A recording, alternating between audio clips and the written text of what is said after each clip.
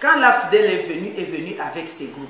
Souvenez-vous, Maman Nathalie, lorsque Mouzé Laurent Désiré Kabila, Moutoual, était président de la République au Congo, les chefs d'état-major, c'était euh, comment?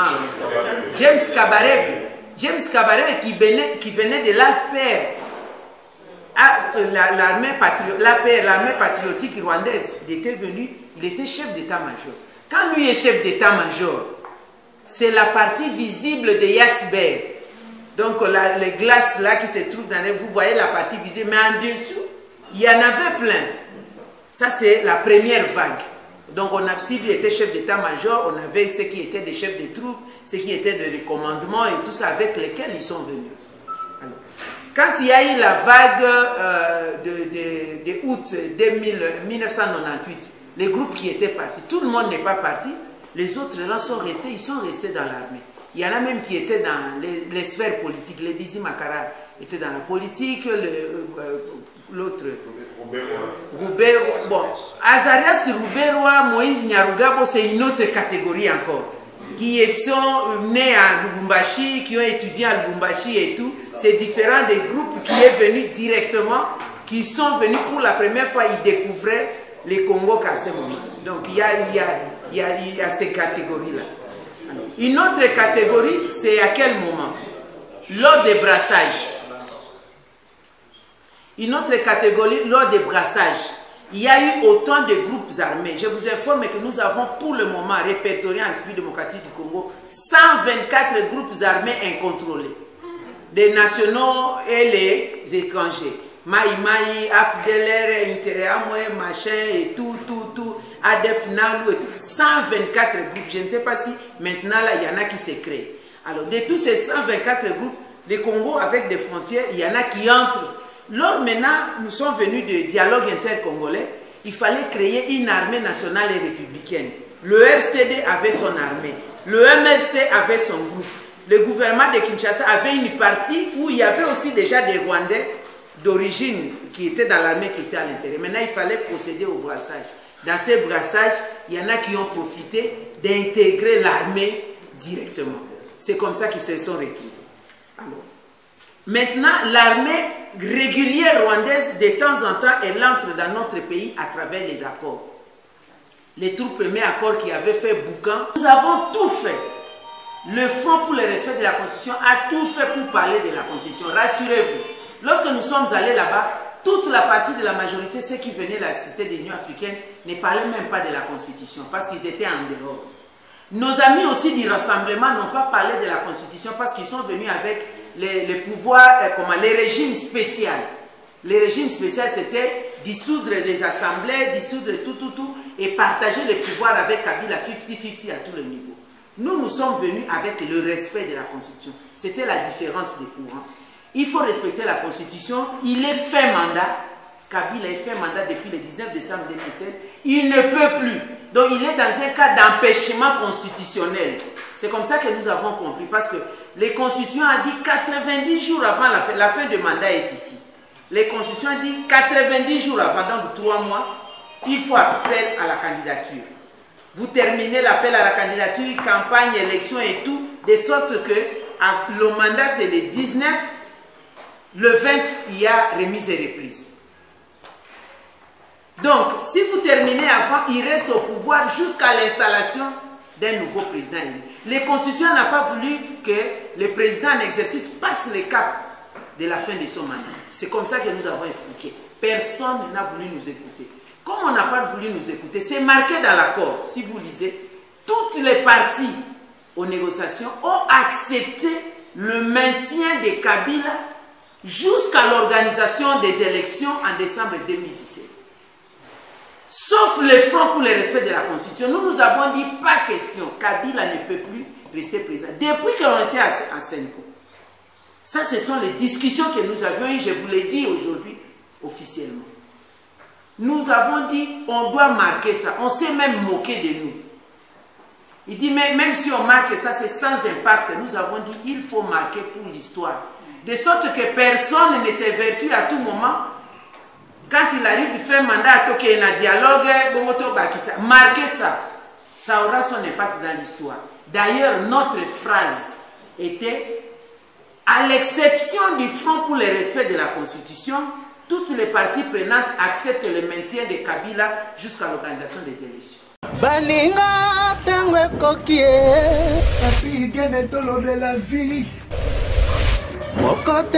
kwenti kwe o tolobela vi awa balobi nini?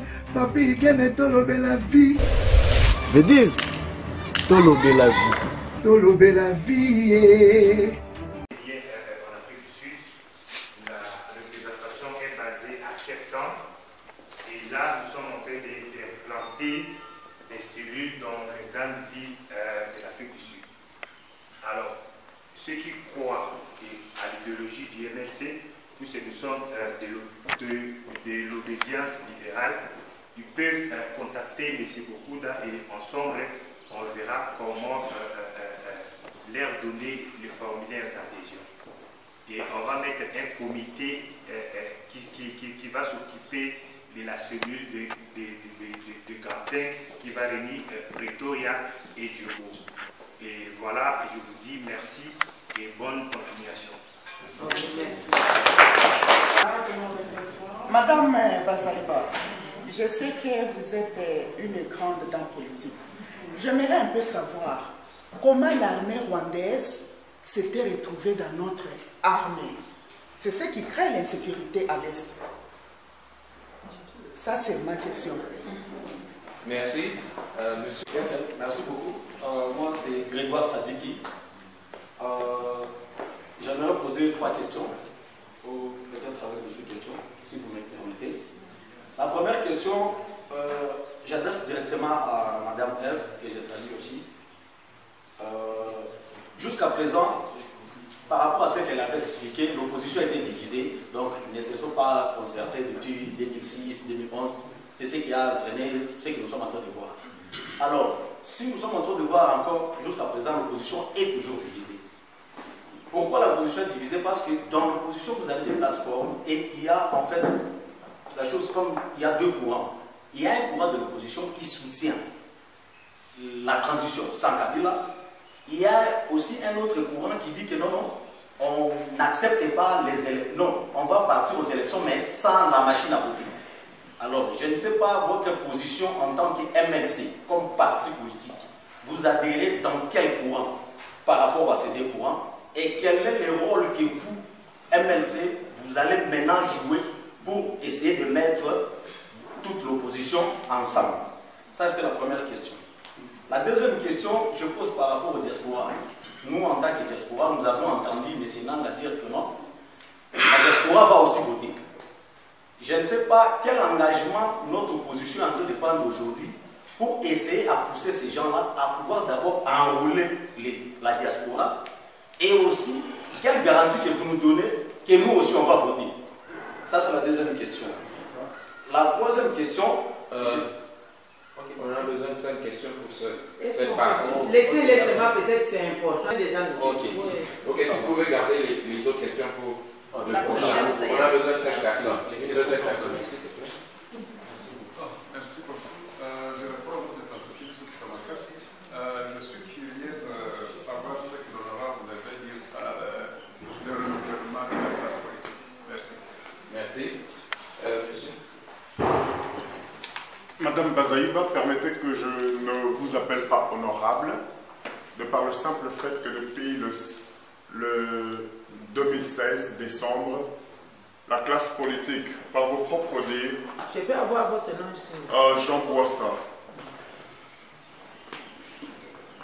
la classe politique, par vos propres dires, vous avez admis un aveu d'échec. Vous avez échoué sur toute la ligne. Et nous ne devons pas dire que c'est seulement depuis 2006, parce que ce serait trop ram- ramener les faits à un moindre détail. C'est depuis l'indépendance que la classe politique a échoué, depuis 1960. Quand vous dites que vos enfants ont 25 ans, d'autres sont plus âgés, cet avis d'échec que vous êtes en train de dénoncer, pourquoi, depuis tous ces temps, que le Congo souffre? Vous avez parlé des problèmes sociaux, euh, euh, panier de la ménagère, euh, sachet de la ménagère.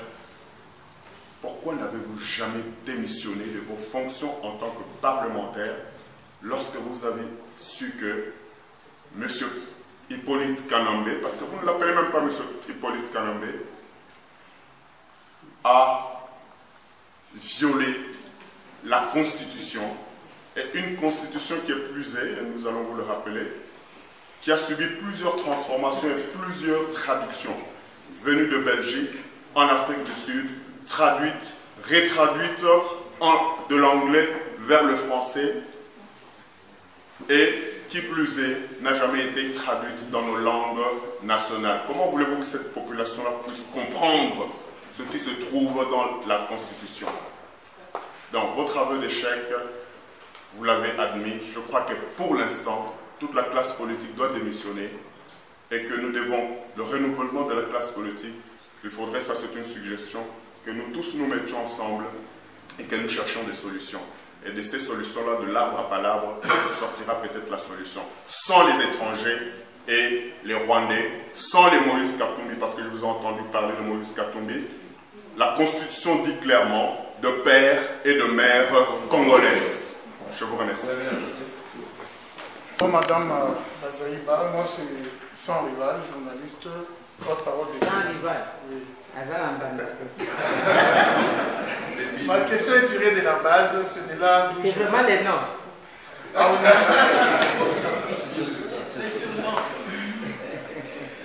Alors j'aimerais un peu, euh, ma préoccupation est sur l'identification de nos politiciens.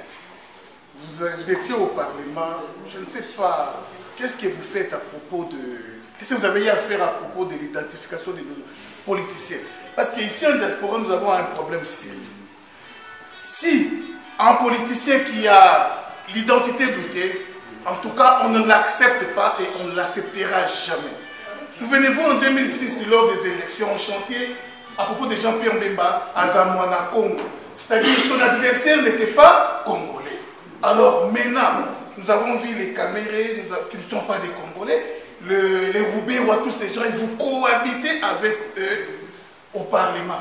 Qu'est-ce que vous en pensez? C'est ça la préoccupation de la diaspora. C'était la cinquième version? Comment l'armée rwandaise s'est retrouvée en République démocratique du Congo? Ce n'est pas l'armée rwandaise. Comment les Rwandais militaires sont retrouvés dans l'armée de la République démocratique? Oui, c'est ça ma question. Voilà. Ils se sont retrouvés comment? Euh, C'est l'histoire pratiquement. Lorsque euh, il y, a, il y a- il y a deux catégories de Rwandais. La catégorie des Congolais d'origine rwandaise et la catégorie des Rwandais qui sont venus. Non, non, attendez. Mais je suis en soyez calme, ça, pourquoi vous parlez en passion La catégorie des Congolais d'origine rwandaise, ça existe. Il y a des Rwandais qui étaient venus au Congo avant 1960 et qui se sont transformés collectivement en Congolais. La loi existe. C'est ça des Rwandais, des Congolais d'origine rwandaise, non? Il y a des lignées. Nous avions eu qui était directeur de cabinet du chef de l'État de Mobutu, dont les familles sont encore ici, dans d'autres fonctions. C'est ça. Dans cette série, il y a eu beaucoup de Congolais, pour ceux qui étaient dans le Katanga, qui ont travaillé à la GECAMINE. Vous savez, beaucoup de papas rwandais qui ont travaillé à la GECAMINE. Vous, vous connaissez le médecin. hein, Il y a beaucoup de médecins rwandais qui ont travaillé. Médecins surtout, ils étaient plus de médecins, comment euh, euh, les- pas des, des médecins de la médecine humaine, vétérinaires. Des médecins vétérinaires, plus ils ont travaillé à Goma, ils ont travaillé, etc. Donc c'est ça. Alors, et puis il y a une autre catégorie maintenant des Rwandais, ils viennent, ils sont entrés au Congo directement comme Rwandais sans d'autres procédures, hein, qui, se sont retrouvés dans notre armée, dans, des instances politiques. Alors je vais parler maintenant de ce qui dérange Maman Nathalie, comment est-ce qu'on a des militaires rwandais actuellement? Quand Mouzé a commencé sa lutte, donc l'AFDL, l'AFDL lui-même avait appelé conglomérat d'aventuriers où chaque groupe avait des objectifs. C'est Mouzé qui l'avait dit. Dans l'AFDL, il y avait des Rwandais, des Ougandais, des Burundais, euh, des Érythréens et tout. C'était un peu comme Che Guevara le faisait il fait une coalition d'Amérique du Sud, il fait son combat à, au Cuba, en Bolivie, etc. Il prend un peu tout ça. Ils disent que nous voulons rétablir de l'ordre. C'était un groupe. Ils ont d'abord commencé par rétablir de l'ordre en Ouganda, selon l'idéologie de ces groupes. Après, ils disent on installe le membre de notre groupe au pouvoir au Rwanda. Après, nous recommençons, nous allons aussi euh, changer les, pouvoirs au Congo. Quand l'AFDEL est venu, est venu avec ses groupes. Souvenez-vous, Maman Nathalie, lorsque Mouzé Laurent Désiré Kabila, Moutoual, était président de la République au Congo, les chefs d'état-major, c'était euh, comment? James Kabarebe. James qui venait, qui venait de l'AFPR, l'armée patrio, patriotique rwandaise, il était venu, il était chef d'état-major. Quand lui est chef d'état-major, c'est la partie visible de Yasber. Donc les glaces là qui se trouvent dans les... Vous voyez la partie visible, mais en dessous, il y en avait plein. Ça, c'est la première vague. Donc on a, si lui était chef d'état-major, on avait ceux qui étaient des chefs de troupes, ceux qui étaient des commandements et tout ça avec lesquels ils sont venus. Quand il y a eu la vague euh, de, de, de, août 2000, 1998, les groupes qui étaient partis, tout le monde n'est pas parti, les autres là sont restés, ils sont restés dans l'armée.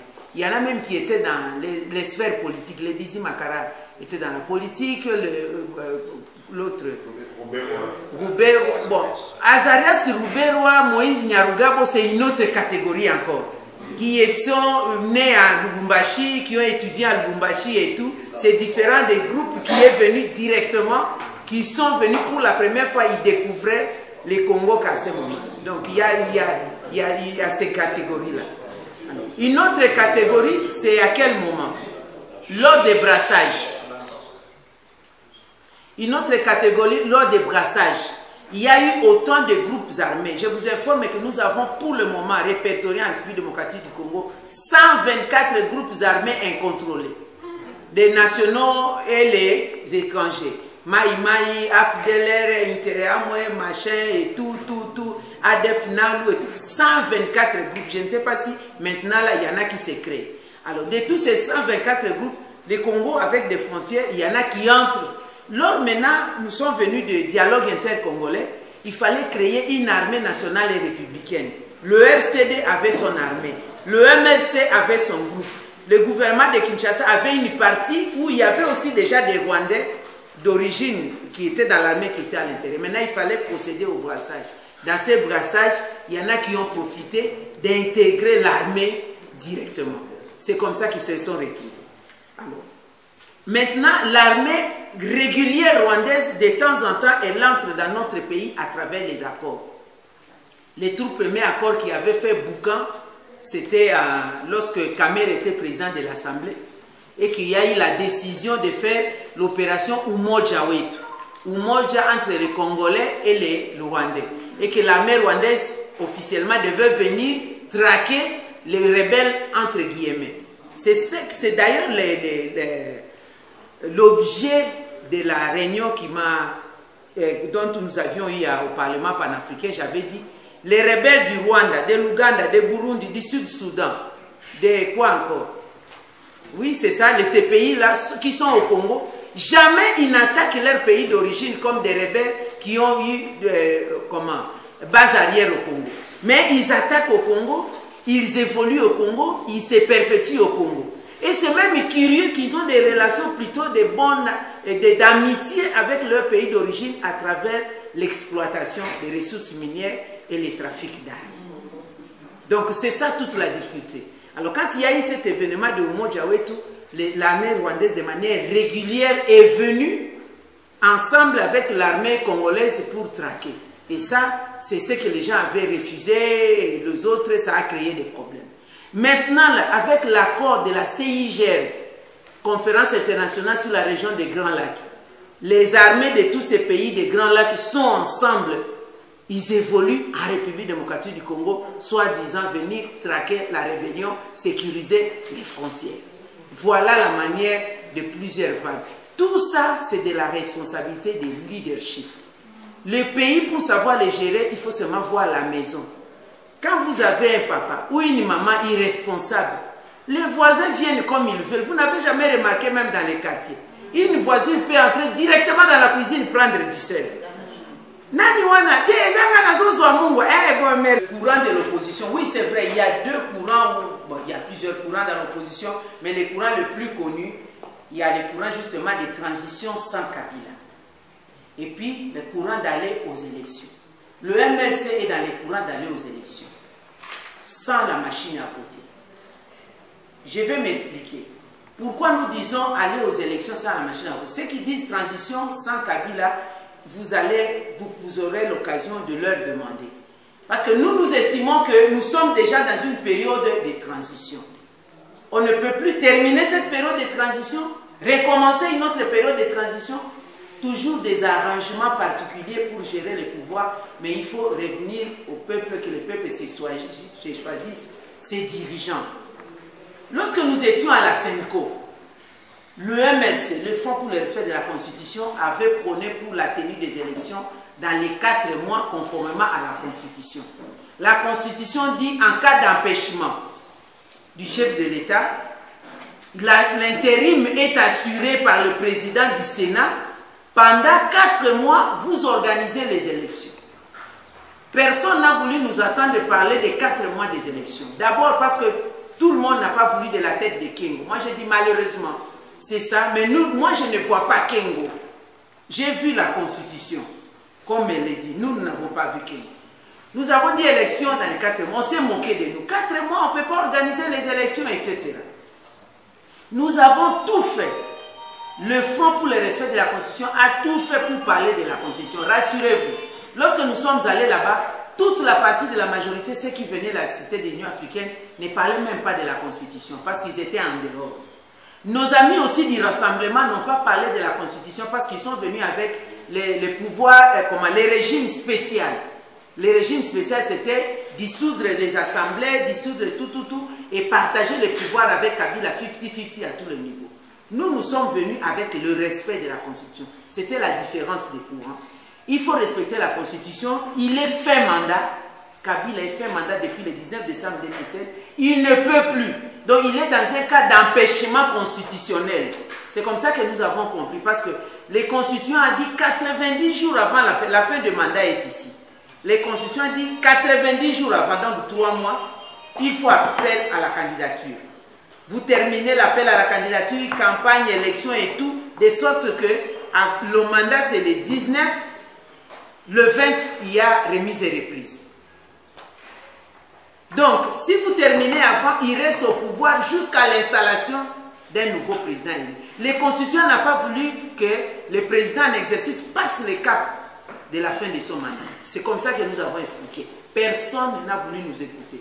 Comme on n'a pas voulu nous écouter, c'est marqué dans l'accord, si vous lisez, toutes les parties aux négociations ont accepté le maintien des Kabila jusqu'à l'organisation des élections en décembre 2017 sauf le Front pour le respect de la Constitution. Nous nous avons dit, pas question, Kabila ne peut plus rester président. Depuis qu'on était à Senko, ça, ce sont les discussions que nous avions eues, je vous l'ai dit aujourd'hui officiellement.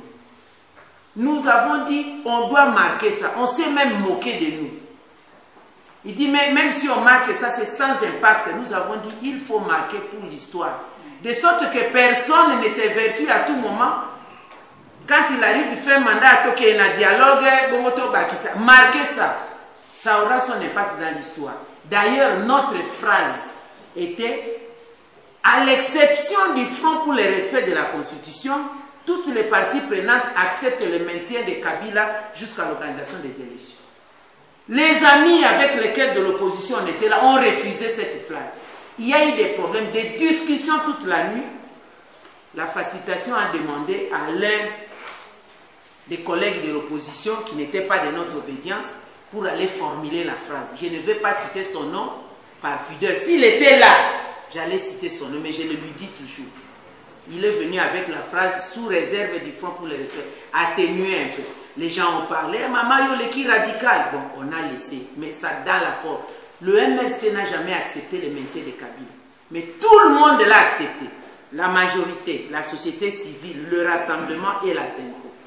Nous avons considéré qu'il avait un bonus de 365 jours. Au lieu de partir en 2016, on lui a ajouté une année parce que les autres, on a eu le consensus majoritaire, on s'est plié. Et ce qui était grave encore, les mêmes amis ont proposé la disposition de toutefois. Toutefois. Parce que nous, nous avons dit qu'il faut avoir l'élection en décembre 2017. Ils ont amené toutefois la CENI, les CENSA et euh, le gouvernement vont s'asseoir pour une date, comment, une date euh, unanime, c'est le mot unanime, pour euh, le parachèvement du processus. On a encore demandé au même collègue, il est venu avec ses... Nous, nous avons bataillé toute la nuit. Quand je dis ici, les médias prennent, les prêtres les savent. J'ai dit, Monseigneur, vous mettez toutefois, c'est dire une chose et son contraire. Nous irons aux élections en décembre 2017. Toutefois, signifie, nous pouvons aussi changer. Il dit, non, maman, vous exagérez, laissez. Moi, j'ai dit, vous allez me dire quoi? C'est resté parce que le rassemblement était sûr d'avoir la primature, les Sensa et tout, sans savoir que Kabila, on ne pouvait pas, donc, et sa famille politique, on ne pouvait pas leur faire confiance. Ils ne respectent pas les accords. C'est pourquoi nous étions la seule composante qui avait dit non à participer au gouvernement et à partager les pouvoirs avec Kabila. Tous les autres disaient non, il faut être là pour préparer les élections ensemble. Nous disions non. Si, imaginez-vous une seule seconde, si toutes les parties aux négociations avaient dit ok, ça va, Kabila a continué quasi 365 jours, mais personne ne participe à son gouvernement. Depuis Matata Naye, Bamona Matata et tout ça, je crois que les choses seraient autrement. Mais il a compris qu'en face de lui, il avait des commandeurs d'emploi. C'est pourquoi il a commencé à dribbler les gens. Moi, j'ai eu des problèmes dans mon parti, dans le mouvement, pour dire, oh boy, Baninga Bazoki n'a pouvoir dans le rien.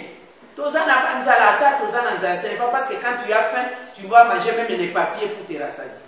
À Tozana, pour ça, maille, on met la même maille, d'ici, fait la mort. Il faut se retenir pour garder euh, sa dignité. Donc, voilà, c'est ça, nous disons que c'est déjà pour nous une transition, une année on ne peut plus avoir d'autres transitions parce que la Constitution a prohibé les combines, les arrangements pour partager les pouvoirs. Le seul moyen d'aller au pouvoir, c'est d'aller aux élections. La machine à voter, ce n'est pas légal. Nous avons des arguments du point de vue de la loi. L'article 237 terre de la loi électorale interdit tout procédé électronique pour ces processus en. La technologie, oui, mais pas pour ces processus en cours. Au Parlement, on en a discuté pourquoi. Moins d'un pour cent des Congolais ont accès à l'électricité. 80% ou 85% nous sommes analphabètes. On peut être des lettrés, mais on est illettrés dans la technologie de l'information. Mon mari ne s'occupe pas des histoires de WhatsApp, c'est un médecin, pas n'importe lequel. WhatsApp et Facebook, vos histoires. Donc, lui-même pour aller voter par WhatsApp, parce que c'est comme un écran un iPad géant, tactile, pour ça, ça va lui donner des difficultés. Nous avons discuté de ça. Si déjà, nous, à notre niveau de, tout ça, on connaît, il y a même une tendance, une, un exercice qu'on avait fait, un parti de la majorité. Une femme est venue dans un parti de la majorité dans cette machine à voter. Maman, votez, non, il dit, hey, on n'a pas voté, non, il vote comité. Il fallait d'abord commencer par lui expliquer pourquoi ils ont l'exercice. Alors, on explique qu'elle accepte. Maintenant, pour y aller, elle commence à faire ça. Et vous dites ça Et vous dites ça Parce que c'est un écran, un écran géant, je ne sais pas si je l'ai ici. C'est comme ça. C'est un iPad grand et tout ça, tactile, vous allez vers le bas. Donc, toute une technologie. du point de vue extérieur d'abord, vous pouvez le faire passer. Du point de vue extérieur d'abord, cette machine, comme c'est un ordinateur, même si ça a l'autonomie de 48 heures, nos téléphones ici ont des autonomies.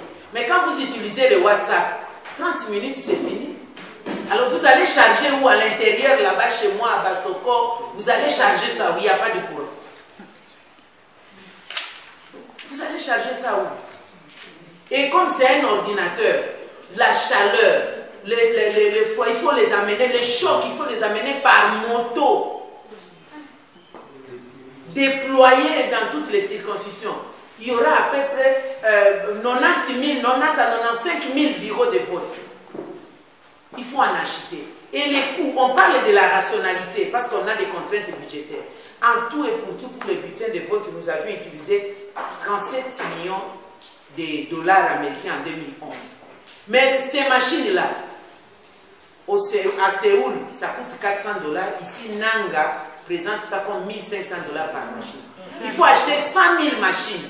Donc 150 millions de dollars. C'est une affaire de marché des sous.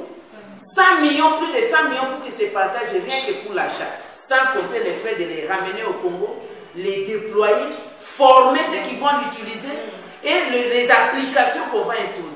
Toutes ces applications qu'on va introduire là-bas, on peut mettre des puces, la programmation déjà, que même si vous votez telle personne, quand vous allez imprimer, son nom sort. La preuve, moi-même, je suis allé avec une équipe. Ceux qui ont vu la vidéo l'ont vu. On a voté. À l'impression, il y a une photo d'un candidat élu qui n'est pas sorti. On a demandé à Nanga, qu'est-ce qui s'est passé Il dit, ah, c'est un problème thermique de langue machin. Donc, si ce problème-là survient, eh, à qui s'envoie pendant ces élections-là, et qui va venir arranger? Donc ils veulent nous, voter, nous voler d'abord le vote par machine interposée et nous voler de l'argent. 100 millions. Quel écart, quelle différence. Et il y a beaucoup d'autres. La loi l'interdit. Il n'y a pas eu un consensus. le calendrier électoral de Nanga, quand il dit, je lui ai dit comme ça en face, toi quand tu vas à New York là-bas, tu commences à raconter si tu es devant le micro, sans, machine à voter, il n'y a pas d'élection. Moi, j'ai dit, moi, je ne suis pas commerçante, je suis politicien. C'est ça ma vie. Donc, tu es en train de toucher à la pineur de monsieur. Tu blagues avec la vie des, des, gens. Toi-même, ton calendrier, les calendriers qu'il a publiés, nulle part on a parlé de la machine à voter. J'ai le, le, le, calendrier électoral ici, pour ceux qui ont des yeux à lire. Le point 38. Vous pouvez voir le point 38 39 et 40, vous pouvez faire circuler. Les points 38, 39 et 40, on parle de la préparation des bulletins de vote à papier. Préparation signifie les candidatures, on va les mettre dans un bulletin, impression des bulletins, le ramener, le déploiement dans les bureaux de vote. Et nulle part, il n'a marqué lors de la publication du calendrier que la machine à voter était l'une des contraintes pour ne pas exécuter le calendrier électoral. S'il vous plaît, compte tenu du temps, il y a beaucoup de gens qui Information importante. Donc, le MLC ne va, aller aux élections sans la machine à voter. Mécanisme de transition sans Kabila, il faut demander à ceux qui soutiennent. Ça signifie quoi? Transition sans Kabila signifie faire quoi? Quel, est le mécanisme? Mais nous, nous avons obtenu qu'il ne se présente pas pour la troisième fois. La troisième fois aux élections. L'appel à la candidature le 24 juin, ceux qui sont des candidats députés provinciaux, envoyez déjà vos candidatures dans vos partis. Le 24 juin, on, réorganise ça, c'est tout ça, c'est l'un des points du calendrier. Et au mois de juillet, candidature au niveau national et présidentiel. Il ne peut pas postuler pour le troisième mandat. Nous allons aux élections sans lui. Il va chercher son dauphin. Nous allons directement aux élections. Au lieu de faire encore des, dialogues, on fait encore une transition, trois ans, euh, deux ans, trois ans, on partage les pouvoirs. Pourquoi? Allons aux élections sur aux politiciens. Qui va voter ozwa pouvoir bâti ya yo na, na esika donc c'est ça notre point de vue l'enrôlement de, la diaspora là vous avez raison heureusement j'avais dans, dans mes documents dans ma farde les canevas que la CENI lui-même a fait la CENI est en difficulté pour l'enrôlement des Congolais des étrangers. Donc, ils veulent maintenant utiliser cette question d'enrôlement pour prolonger le processus électoral. Normalement, les Congolais de l'étranger, conformément à la loi, doivent voter les candidats présidents de la République. Parce que nous n'avons pas le système de députés élus par la diaspora. Alors, il faut l'identification, je crois qu'il euh, a mis ça dans les, dans les défis, euh, il a mis ça dans les défis quelque part, on n'a pas le temps de le lire rapidement, mais ça c'est. Donc nos ambassades ont des difficultés. Ça c'est le gouvernement qui doit identifier les Congolais de l'étranger, que ce n'est pas le rôle de la CENI. Donc c'est devait normalement, pendant que la CENI évolue, le gouvernement identifie les Congolais, qui est encore Congolais, qui a une autre nationalité, comment on devait le faire? Et où est-ce qu'on doit voter? Les Congolais sont partout. sur toutes les années, enfin dans le monde entier, où sera les postes de vote? Si c'est en Afrique du Sud, on vote à Djobourg, on vote à Pretoria ou on vote à Cape Town, là où il y a les parlements. Si c'est en Belgique, on vote où? Est-ce qu'on doit voter en Belgique, en France? Aux États-Unis, c'est grand, on vote où? Quel est le, Congolais? Il y a plus de 50 000 Congolais à Texas. Ils vont venir tous en Washington, on vote à New York, donc tout ça, c'est le gouvernement qui est dans des difficultés pour le faire, mais la CENI dit qu'il a des difficultés pour enrôler les Congolais de l'étranger. C'est une opportunité pour les associations comme le vote de hausser les tons par rapport à, ça et de contacter en fait euh, la CENI. Alors, il y a euh, la question sur les renouvellements euh, de, la, de la classe politique. Oui, qu'est-ce que ça signifie les renouvellements En fait, nous sommes dans l'approche de la démocratie. la démocratie, c'est la rotation, les cycles réguliers des élections, le changement. Pourquoi on fait les mandats? La, la démocratie, c'est la limitation des mandats. Parce que s'il y a le mandat excessif, et s'il n'y a pas chaque fois on fait un arrêt, on recommence, vous perdez l'attention. Vous perdez l'attention. Même les, mettez seulement l'exemple des vigiles, des security qu'on met là. S'il n'y a pas de rotation, il peut somnoler, il peut se fatiguer, et puis il veut voir quelque chose comme la routine. Mais s'il y a renouvellement, quand il rentre, il dit Ah, où est la beauté Il surveille, l'attention est là. C'est comme ça que ceux qui ont conçu la démocratie depuis la Grèce ont prévu qu'il en soit ici. Donc il faut qu'il y ait renouvellement. Nous, nous avons dépassé les convenances. Ceux qui étaient élus en 2006 pour un mandat de 5 ans sont encore là jusqu'aujourd'hui. Moi-même, j'ai fait 5 ans au Sénat. J'étais convaincu que nous étions dans la démocratie, on devait aller. J'ai quitté le Sénat pour postuler à l'Assemblée nationale. Je suis à l'Assemblée nationale, mon mandat est fini à l'Assemblée nationale. Ceux qui étaient avec moi au Sénat continuent. Mais c'est incroyable. Ça sort de l'ordinaire. Pourquoi nous ne démissionnons pas? Il y a des différences. On ne démissionne pas nécessairement, comme les gens disent, pour des raisons d'argent. Non. Un parlementaire qui vit d'argent, c'est un parlementaire. L'argent du Parlement, c'est un parlementaire corruptible. Moi, j'ai rendu grâce à Dieu notre collègue euh, Fayoul a rendu l'argent, a fait sa, cirque, moi j'appelle ça le cirque parce que ce n'est qu'il remette à l'autre depuis que le mandat était fini. Hein? Alors, il a remis l'argent et au moins vous avez vu 2 904 000 francs congolais. Au taux de 93, 3 000. Au moins vous avez vu, contrairement à ce que vous entendez, Bafuta Bango, 13 000, 12 000. Il n'a pas remis 12 000 dollars. Hein. Il a remis 2 904 000 et là, le gouvernement congolais a considéré qu'on nous paye 3 000 dollars. Alors que le taux normal, le taux dans la rue c'est 165, le taux budgétaire c'est 145, mais là on nous paye au taux, l'ancien taux de 930, on considère que ça fait euh, les 2 700 là, ça fait 794, ça fait 3 000 dollars. C'est ça, nos, émoluments. Alors, si vous, vous changez ça, vous avez 1700 dollars. Avec toute la charge que nous avons, on ne peut pas vivre de 1700 dollars pour ceux qui louent les maisons. Il n'y a que 52 euh, députés qui sont des Quinois. Tous les restes viennent de l'intérieur. Sur les 500, 52 députés seulement sont Quinois. Tous les restes louent des maisons à l'intérieur, vivent comme ça. Ils vivent de là, ils sont des commerçants, des enseignants, des avocats, des médecins. Ils vivent des actifs. Si tu vis de l'Assemblée nationale, tu sais justement les applaudisseurs et les, corrupteurs. N'est pas démissionner. Pourquoi nous ne démissionnons pas Je vous dis, les rôles que nous faisons, ce n'est pas, nous ne gagnons peut-être pas, mais nous limitons les dégâts.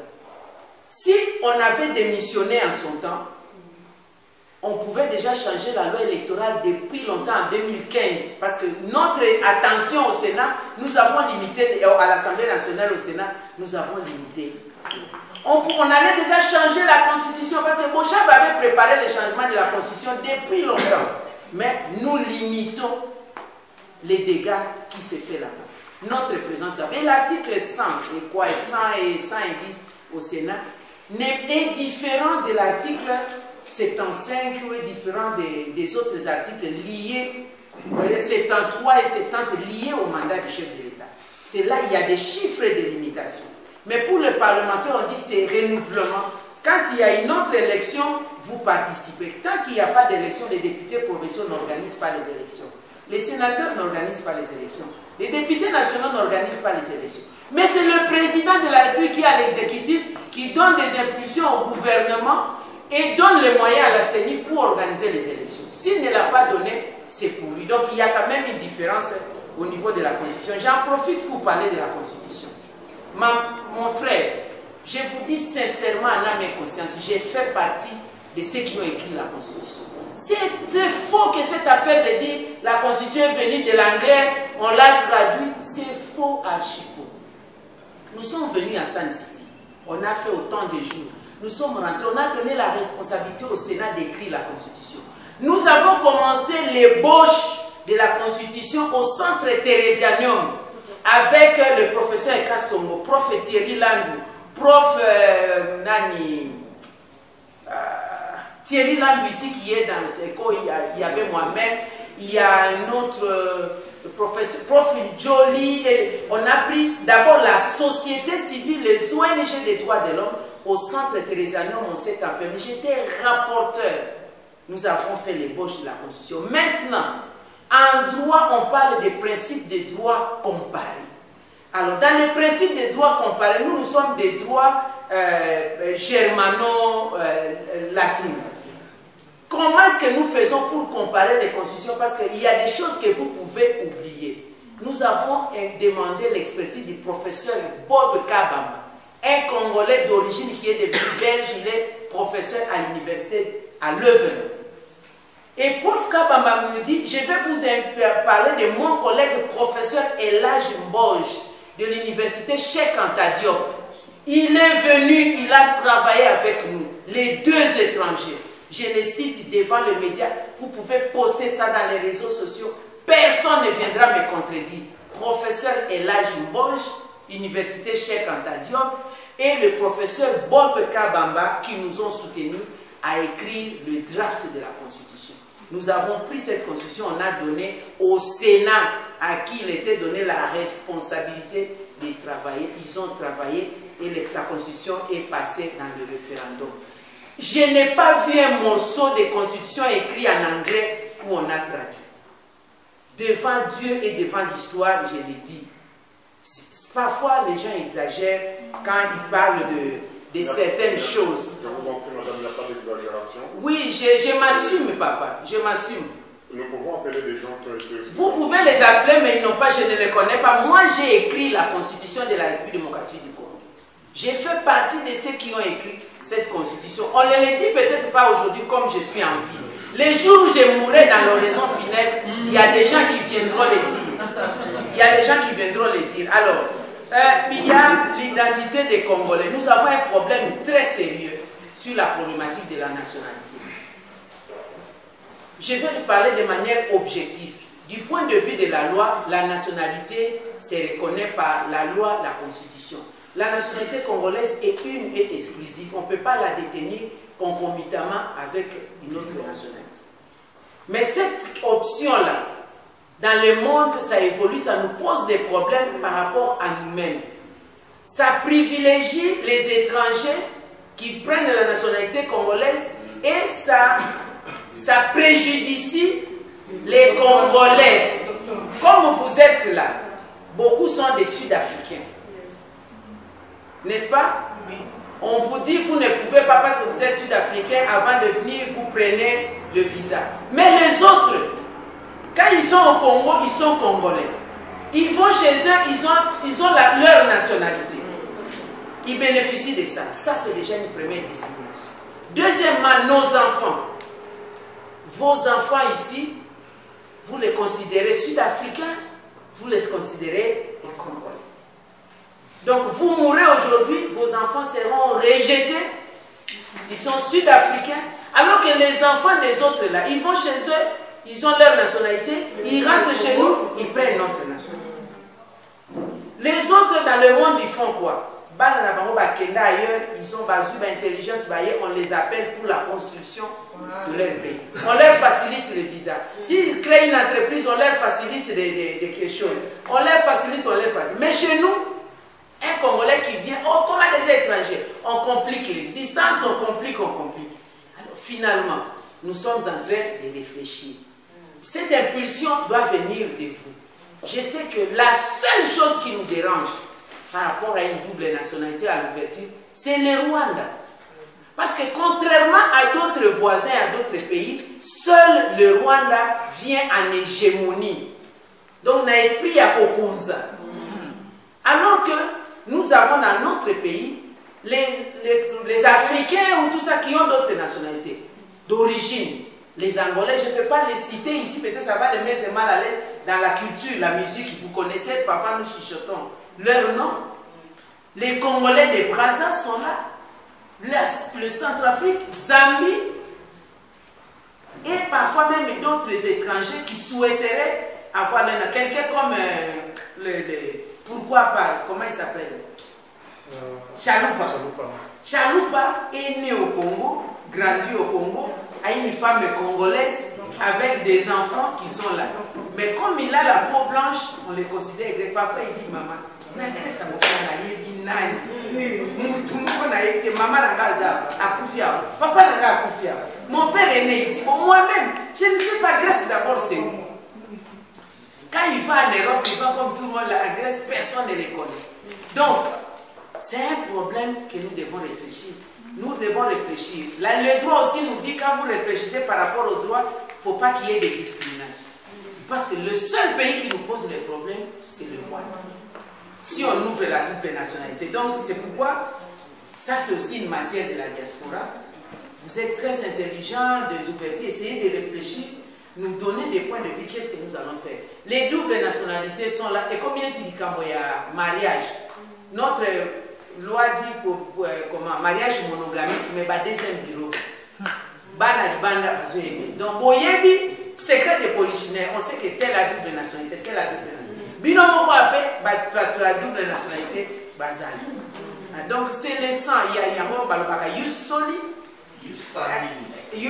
soli et yus soli d'abord pour le sol là où tu es né et puis le droit du sang yus sanguini alors Maintenant, et puis il y a les, par euh, lien des mariages, hein, comment est-ce que nous faisons, je crois que c'est une matière, vous, vous vivez ça dans votre chair autrement, avec une autre, un autre prisme. Nous aussi, nous vivons ça dans notre chair avec notre prisme. Essayons de réfléchir pour que nous proposions des choses importantes par rapport à notre nationalité. Merci. Je crois qu'on va passer au... Parce que si nous parlons des individus, en termes de nationalité, il a plusieurs nationalités. Je vous ai dit qu'il y a des Sud-Africains ici. Qu'est-ce que j'ai fait d'eux? Il y en a qui ont des enfants déjà Sud-Africains. J'ai fait d'eux. J'ai fait comment Ok, s'il vous plaît, on va...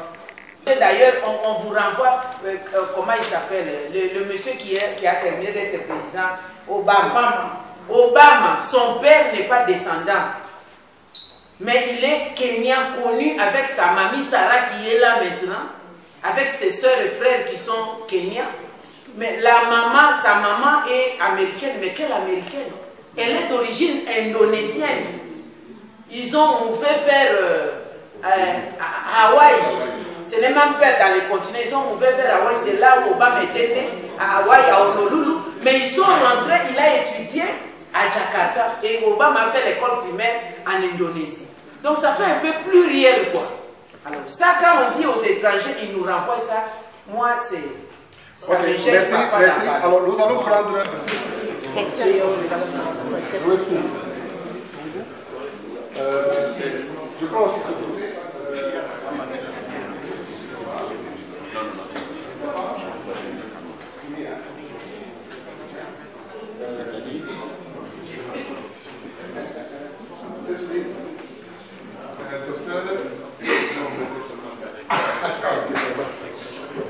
Je procède prêt Ça va? Ok, euh, papa. Vous aussi?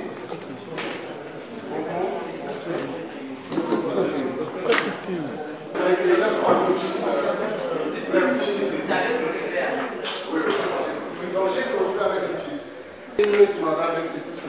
30, 30 secondes. Non, il pose la Une minute, s'il vous plaît. Je réponds de Kabia Bakadima. j'ai eu à diriger aussi la JMLC de 2003 à 2004 quand j'étais à Kinshasa. Ma question est celle ici. Il y a, euh, à ma connaissance, vous avez dit le pouvoir c'est au Congo. Nous devons appuyer l'action de l'Église catholique et de la population congolaise à travers toutes les marches qu'ils sont en train de faire. Et à ma connaissance, dans le continent africain, dans le pays africain, il y a eu plus de 20 à 30 présidents qui ont été assassinés en plein exercice. Et à ma connaissance, euh, euh, à travers le marche que la population est en train de faire dans tout le pays africain, je ne sais pas s'il y a un pays où la population s'est levée et a renversé un président quelconque en Afrique. J'ai dit à ma connaissance. J'ai dit à ma connaissance. Et il y, a, il y a des soulèvements qui se font, il y a toujours l'armée qui vient du côté de la population pour appuyer. Le cas de l'Égypte, euh, Libye et Tunisie. Pourquoi ne pas changer des stratégies, des systèmes politiques, d'éveiller aussi des stratégies, d'éveiller aussi, d'éveiller aussi l'armée congolaise, de leur demander aussi d'aller du côté de euh, la population pour faire la fouille, pour qu'on puisse aussi changer le pouvoir. Merci. Dites qu'il aimerait le coordinateur de la Nation de Sud. Je serai juste bref, hein, puisque je vois toutes nos questions sont déjà posées. Je voulais savoir, quelle est votre interprétation, madame, sur l'apport des de, de laïcs catholiques et si les, les oppositions, bon, les partis, les opposants ou bien les partis de l'opposition adhèrent ou collaborent avec euh, les laïcs ou l'Église catholique. Merci. Interprétation sur l'apport. Sur l'apport, ok. Moi, c'est M. Gaston Koukelemena. J'ai euh, une préoccupation. La première est celle-ci. MLC comme mouvement de libération du Congo. Cette libération est le fait, si nous devons les construire dans le temps et dans l'espace, c'est par rapport à l'impérialiste ou par rapport à quoi? Ça c'est un. Et quand estimez-vous que vous allez atteindre vos objectifs pour que le Congo soit libéré? Et parlant de la position des MLC par rapport aux élections, vous avez une option que vous avez adoptée. Et parlant aussi de l'unité d'action de l'opposition, estimez-vous que cette position est-elle consensuelle avec toute l'opposition? Et nous avons constaté dans les temps que chaque fois qu'il y avait des actions coordonnées de l'opposition, les MLC étaient euh, souvent, jouaient souvent tantôt l'offensive, tantôt les défensives, c'est dire qu'il était médiateur au centre. Parce que nous avons vu euh, euh, certaines fois, les mots d'ordre de l'opposition n'étaient pas appuyés par les MLC par rapport aux actions de masse. Pourquoi nous voulons ici savoir si euh, cette position, euh, si vous estimez que vous êtes dans une bonne position, dans une bonne direction, par rapport à votre position médiane? Voilà. Joël? Joël? Merci madame. Je réponds au nom du jeu de savoir quelle est l'importance ou, l'intérêt de l'alliance entre les PALU et, les MLC du point de vue électoral. Euh, nous savons très bien que le PALU est, le deuxième parti puissant après les PPRD au sein de la majorité présidentielle. Moi, de ma part, je me suis dit que peut-être l'MLC, Katele Gato, qui va commander le MLC L'MLC. Katele Gato,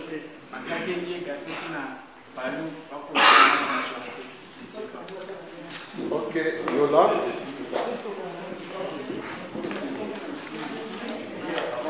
Au nom de Yolande, moi je voulais plus euh, m'adresser à madame personnellement parce que madame est secrétaire générale de l'MSC depuis qu'on connaît.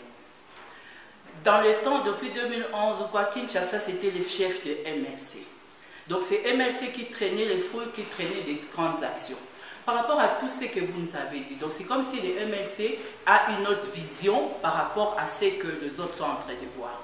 Mais pourquoi, qu'est-ce qui se passe réellement dans MLC Pourquoi on ne sent pas MLC défendre tout ce que vous êtes en train de nous dire ici? Pourquoi MLC n'est pas au front pour défendre toutes les vérités qu'ils connaissent, toutes les, je sais pas moi, les, bon, les vérités, hein, toutes les options et toute la réalité du Congo. Pourquoi l'MLC ne parle pas?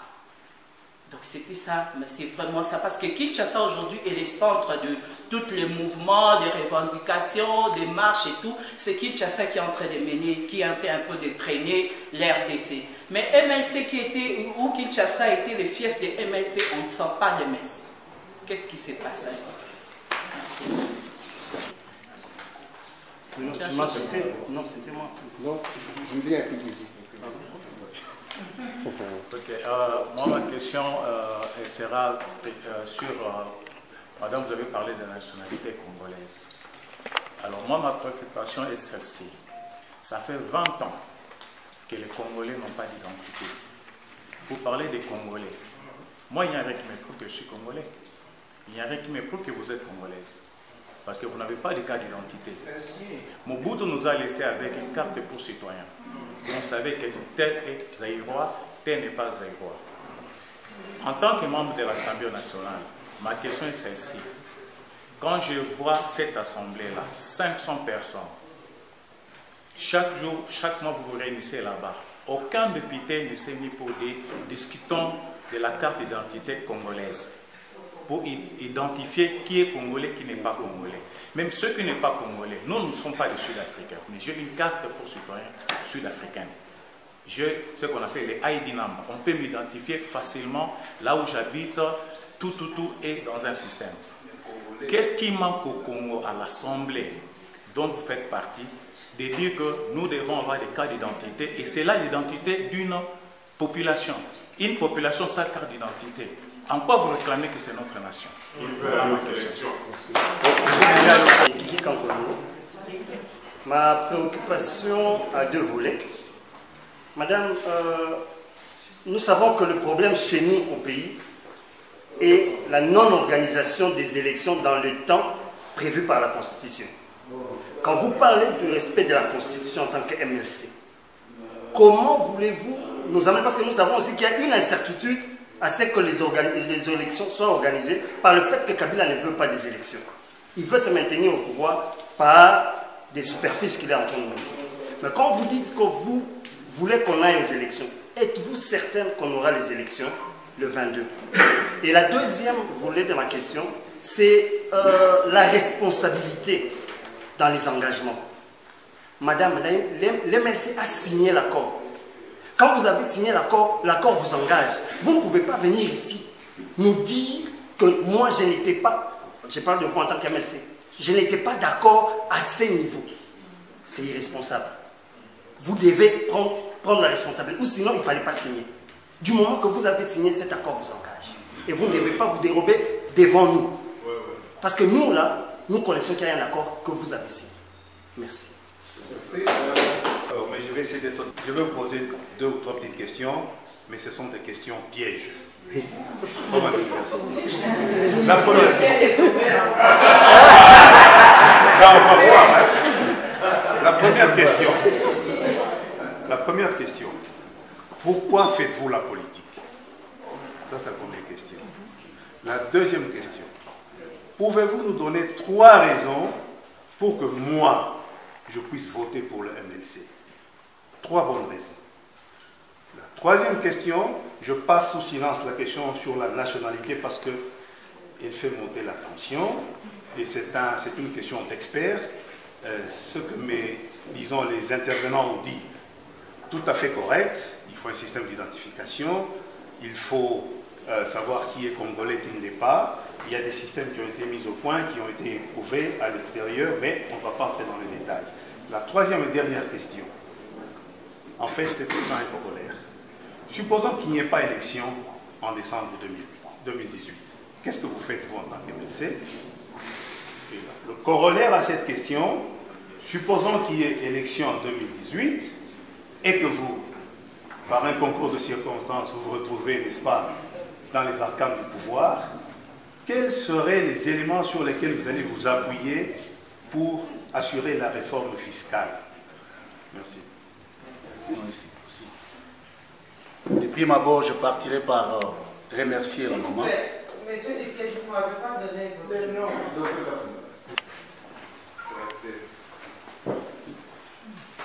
Ok, c'est Félix Ndundu Mbono. Merci. Bon, je disais, de prime abord, je partirai d'abord par vous remercier. Je vous ai suivi à plusieurs fois à la télé, euh, euh, conférences et consorts. Euh, je loue votre bravoure et euh, la dame qui tient quand même à la tête d'un parti politique en RDC, c'est quand même la valeur pour la maman. Euh,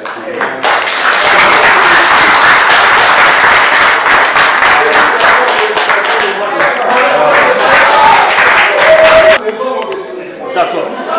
Euh, juste avant la question, je vais corriger un peu. Il y, il y a quelque chose que je vais un peu.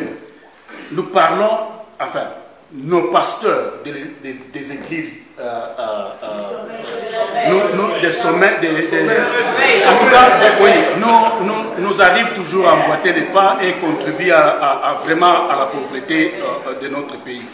Je dis ceci, il y a quelqu'un qui disait, adore-moi, je vous donnerai tout ce que vous voyez. Et celui-là n'a pas adoré. Donc c'est que tout pouvoir ne vient pas de Dieu. Donc c'est le pouvoir dans l'Église qui vient de Dieu. Mais quand je prends les armes et je tue pour devenir président, ça, ce pouvoir ne vient pas de Dieu. Bon, je reviens maintenant à ma question. Voici ma question. Ah, maman, euh, la diaspora n'est pas toujours consultée. C'est après avoir passé à l'échec que nous voyons le Félix Tshisekedi euh, euh, oui, venir maintenant consulter, enfin venir voir la diaspora. On vous a tendu une piège, dialogue. Nous avons vu les nôtres compatriotes congolais nous savions, nous savons qui est, qui est. Quand je vois les Bantous, je sais ce qu'il est, ce qu'il pense. Et quand nous voyons les Nilotiques, nous savons qu'est-ce qu'est un Nilotique, qu'est-ce qu'est un Tutsi. Bâtir vraiment, comme nous sommes des forestiers, nous mettons les pièges. Ceux qui n'ont pas antilope, bon, on Donc, nous nous considérons après nous n'avons pas une classe politique. C'est un langage qui se dit, au Congo, nous n'avons pas une classe politique. Namutambouana, MLCP, Azwami. Et puis après, aujourd'hui, les accords, Bobaki, ici même, 30, 300, 360 jours. Mais pourtant, les projets échouent faute des gens qui délibèrent, mais ils réussissent quand il y a combien de conseillers Plusieurs conseillers. Les Écritures le disent. Les politiciens, l'opposition ne consultent pas la diaspora. Pourtant, nous... Voilà l'occasion. MLC a permis que nous qui sommes une société civile, qui réunissons les leaders que vous êtes, organisons cette assise où ils sont reçus comme des invités. On n'a jamais vu ça et nous souhaitons, nous préférons que vraiment cet élan que vous avez lancé aujourd'hui puisse vraiment se développer et s'ancrer, où la société civile devient vraiment participante. Et la société civile, ce n'est pas seulement l'Église catholique. Nous avons été ici des masses, des masses silencieuses, mais en tout cas, nous espérons qu'avec votre passage ici et cette initiative, les choses vont, vont changer. Merci. Donc, euh, c'est euh, docteur Apo. a procès un tableau pratiquement sombre du pays. Et il aurait fallu qu'elle reconnaisse aussi que l'opposition a une grande responsabilité dans cet échec. Il qu'elle le reconnaisse. Alors, euh, je voulais savoir, je ne sais pas, l'UNC, le, le MLC existe depuis combien de temps? Est-ce qu'il vous est déjà arrivé d'évaluer votre action? Et compte tenu de cette évaluation-là, êtes-vous contente de vous faire appeler toujours parti politique d'opposition ou euh, faut peut-être changer l'appellation? Les autres questions ont déjà été posées et je pose seulement celle-là. J'ai des questions que je vais poser, mais ça va suivre. Donc, ce serait dans le regroupement. Et ma première question, c'est, je vais poser sur euh, euh, l'institution présidentielle. Euh, je voulais savoir, l'honorable, quelles sont les prérogatives d'un président de la République du Congo? Je ne peux pas parler de manière générale. Et quelles sont les sanctions prévues en cas de déviation de ces prérogatives? Deuxième question. Euh, je ne peux pas euh, confirmer que vous connaissez la chose. Je peux estimer, peut-être que vous avez déjà entendu ou suivi les vidéos. C'est un député du Parlement européen qui a dénoncé, je crois à deux reprises, qui disait ceci. Kabila a été tué après que la Belgique a pris la décision. 15 jours après, les États-Unis a donné l'ordre et Kabila a été assassiné parce qu'il défendait les intérêts de son pays, de son peuple. Et ces gens-là, ils ont décidé de prendre un Rwandais, de l'établir comme président, en fait, qu'ils soit manipulé. Je ne sais pas si vous avez le vidéo. Si vous n'en avez pas, euh, si, si, vous n'en avez pas, je, crois que quelqu'un peut justement vous, vous, vous, transférer ça. Je pose la question. Est-ce que, bon, je ne peux pas justement aller straight, je vais dire ceci. Si vous avez euh, l'autre vidéo, est-ce que votre Parlement avait déjà établi un regroupement pour leur donner les tâches là pour faire ces enquêtes et prévoir les sanctions, puisque vous êtes au courant que la personne qui vous dirige, c'est un Rwandais. Et les gens qui l'ont établi, vous les connaissez. Et le message a été clair et précis. Il a parlé de la Belgique, il a parlé des États-Unis. Il a expliqué Qu'est-ce que le Parlement congolais, euh, l'autre le Sénat aussi avait prévu Est-ce qu'il a mis déjà l'équipe pour suivre et faire l'investigation sur l'affaire? Et si les députés belges étaient ronds, il a fait du mensonge, quelles sont les sanctions prévues pour la personne? Non, ça c'est la présence, c'est fini. Maintenant, l'aspect sécuritaire. Euh, mon grand frère m'a dit ceci, toi tu viens avec des questions dans, dans l'iPad. Non, j'ai justement quelque chose. Euh, sorry. Ok, l'aspect sécurité. Euh, nous avons les, les noms et les images, donc les, les, photos des hauts officiers de l'armée qui ne sont pas congolais, connus, et ils sont très nombreux. Ils occupent des positions très stratégiques. Est-ce que maman, comme vous êtes là, vous êtes au courant? Est-ce que vous connaissez ça?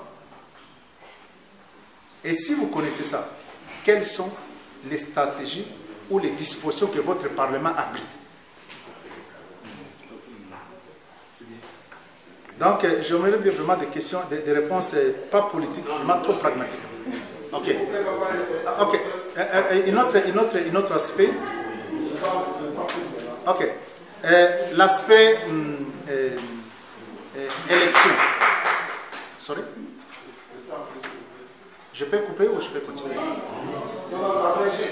Ok, merci. Aspect élection. Quels sont les proactifs pleins que vous avez engagés en cas il n'y a pas l'élection Les proactifs. Les proactifs, je peux ici simplifier ça. On dit ceci, nous sommes en train de, eh, bon, nous sommes ici vides, bon, en cas de la pluie, quels sont les, bon, je, je simplifie la chose, quels sont les proactifs plainte que vous avez ça, et que, vous avez en main en cas de déviation, puisque Kabila peut dévier anytime. Vous le connaissez, vous avez déjà trompé jour après jour. Ok, last question. Maman, ça c'est la question qui peut seulement étiqueter les cas de plusieurs personnes. Je crois qu'ils ont dévié. Vous êtes au Parlement. Vous connaissez ce que la, diaspora fait pour vous qui, qui, qui sont au Congo là-bas. Ils vous envoient jour après jour pour vous aider. Qu'est-ce qui se passe avec le ministère des passeports? Le passeport extrêmement cher. Est-ce que pouvez-vous pas parler de la chose? Est-ce que les papiers qu'on imprime, le, passeport là, vous achetez ça au ciel? Abraham est assis pour faire souffrir le Congolais. L'affaire là, c'est depuis le temps du président jusqu'aujourd'hui. Nous voulons des, des réponses et l'accès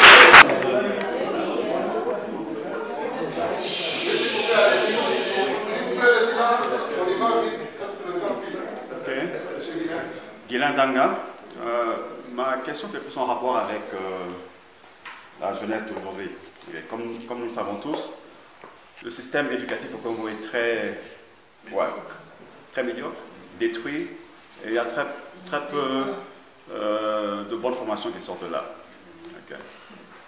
Et aussi, quand vous observez la société d'aujourd'hui, c'est probablement dû au, au, problème que les gens traversent en ce moment le focus est plus vers la religion. ok? Et très souvent, cette religion, les vérités sont, sont tronquées pour, avoir, euh, pour pouvoir achieve, comme, comme on dit en anglais, euh, des goals qui ne sont pas toujours avoués. ok? Et malheureusement, ça endort beaucoup les gens. ok? Alors, j'aimerais savoir qu'est-ce que le MLC en particulier fait euh, pour éduquer politiquement les jeunes, pour former les jeunes. Parce que même quand vous parlez du programme de demain, il faudra bien qu'il y ait des gens qui, savent gérer une compagnie pour pouvoir euh, euh, contribuer à l'économie du pays. Des gens qui puissent euh, éduquer de jeunes gens pour, pouvoir contribuer au futur du pays. Des gens qui, puissent penser d'une manière stratégique pour pouvoir voir plus loin que demain ou dans deux mois ou dans deux ans. Il faut des stratégies de long terme, 10 ans, 15 ans, 20 ans. Qu'est-ce que le MLC fait pour avoir quelque chose du genre euh, euh, dans, dans, le pays? Et surtout, surtout, quand vous arrivez euh, devant une situation, et bon, je m'excuse vis-à-vis des gens qui sont très, très, très religieux, ok?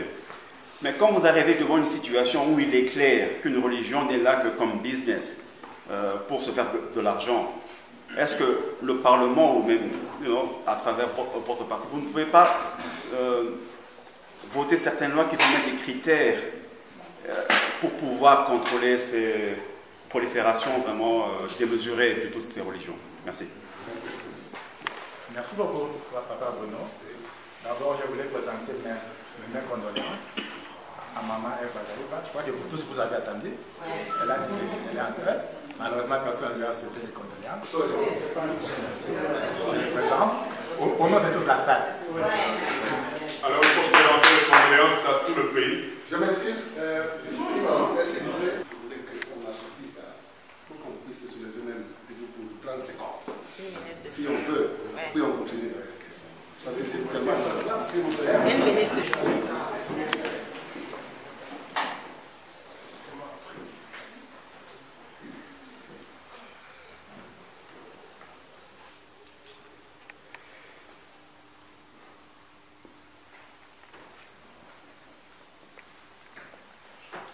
Merci tout le monde. Merci à Papa pour nous avoir. Celle qui est la, la plus facile d'ailleurs, le marketing du MLC. Je vois que nous tous ici, il y a des médecins, il y a des ingénieurs, il y a des hommes d'affaires. Donc la raison pourquoi les doivent adhérer à MLC, c'est une question qui a été posée. Alors la deuxième question, c'est une question vraiment qui me préoccupe beaucoup. Ce n'est pas par hasard que Maman Bazaï va vous être ici au mois de, mars. Le mois prochain, c'est le mois d'avril. Le mois d'avril, c'est le 15e anniversaire des accords de Sun City. Vous étiez à Sun City. Vous avez signé les accords. Moi, j'appartiens à une école de pensée qui dit que c'était une erreur que nos politiciens congolais aient signé ces accords. Moi, étant activiste, depuis que quand vous étiez à, Sun City, moi j'ai défié Mme Dlamini Zuma, ministre des Affaires étrangères. Je lui ai dit, j'ai dit, excusez-moi madame, moi je ne suis pas d'accord avec cette procédure-là que vous êtes en train d'embaucher à Sun City.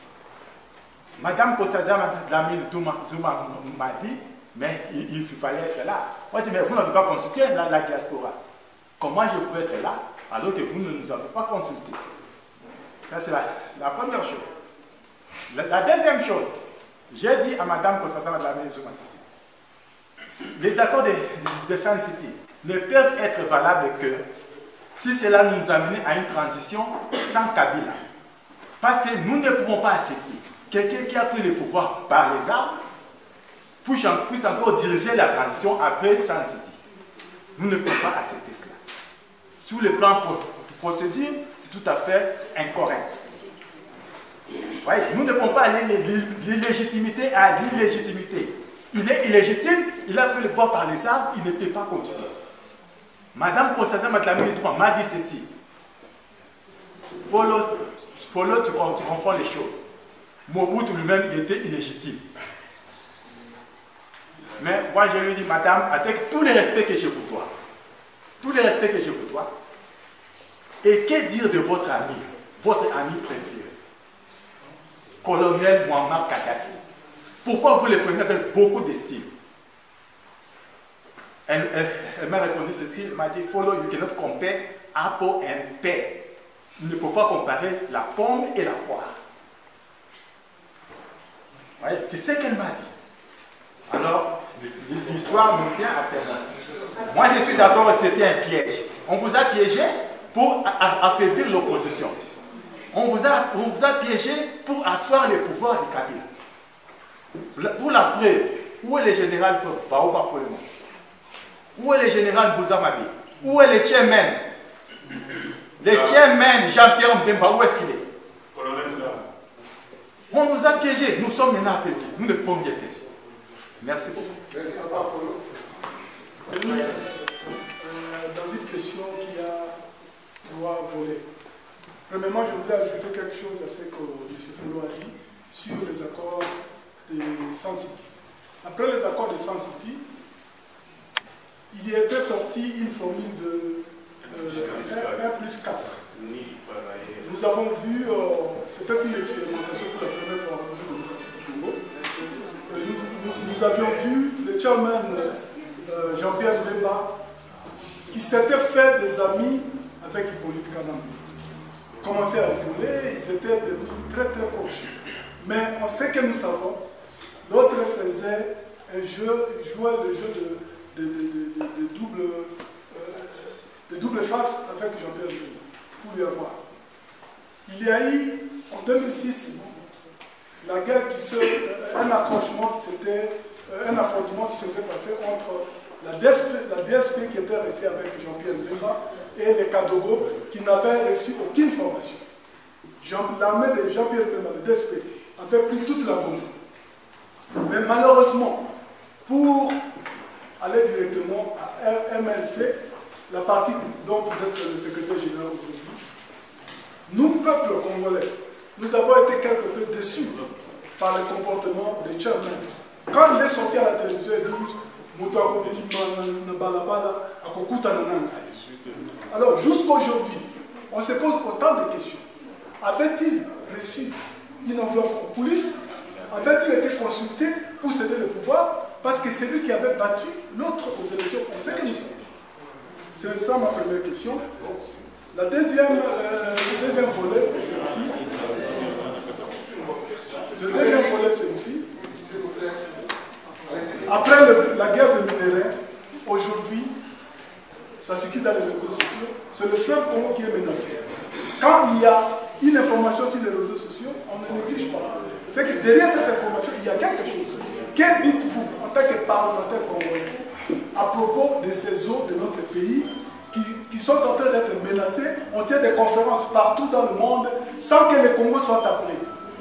Parce que demain, la rivière Ubangi sera envoyée à- au lac Tchadi et c'est nous qui allons payer. Il y, aura, il, y aura, il y aura certaines espèces de poissons qui, qui vont disparaître, il n'y aura pas la pêche. Donc, que dites-vous en tant que parlementaire? Je, je vais, je vais terminer. Quand je vous vois, Madame Eve Bazaïba, je, me figure des, des femmes de, de, de, de- de fer qui ont combattu sur l'Afrique du Sud, à l'instar de Liliane Ngoya, de, Hélène, Joseph, qui ont pu mobiliser la Ligue des femmes pour marcher à, à- à- Union Building et, se tenir contre euh, le gouvernement de l'apartheid.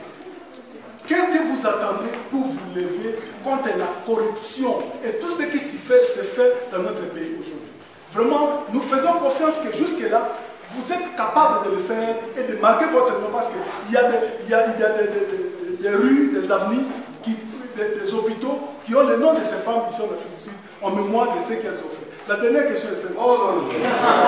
La, la- la dernière, papa, je vais terminer. Qu'est dit, dit la constitution congolaise? En deux mots, en deux mots, s'il vous plaît. Quand le président en exercice est prêt à terminer son mandat, n'organise pas les élections. Concrètement, qu'est dit la constitution?